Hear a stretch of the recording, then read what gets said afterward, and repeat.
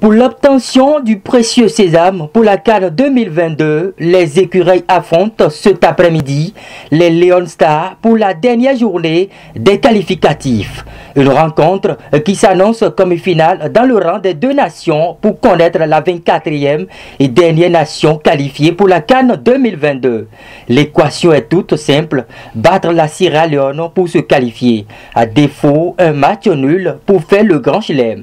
Convaincus, le bout du tunnel est proche.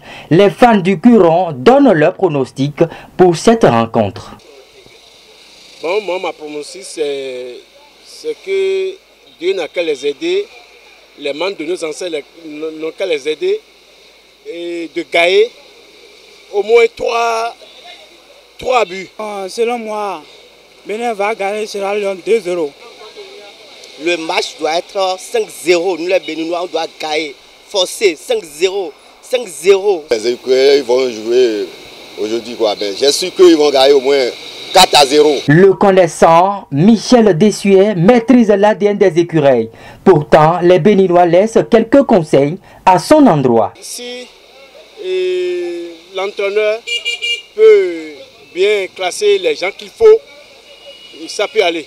Il faut que mettre les bons joueurs à l'attaque. Moi, je veux voir, comment on appelle-t-on? euh, Jordan Dessous, et je veux voir Poté, le gardien, je veux que ça soit. La rencontre se joue tout à l'heure à partir de 17h au stade général Lansana Comté de Conakry en Guinée. Pour rappel, la Cannes est prévue se jouer du 9 janvier au 6 février 2022 au Cameroun.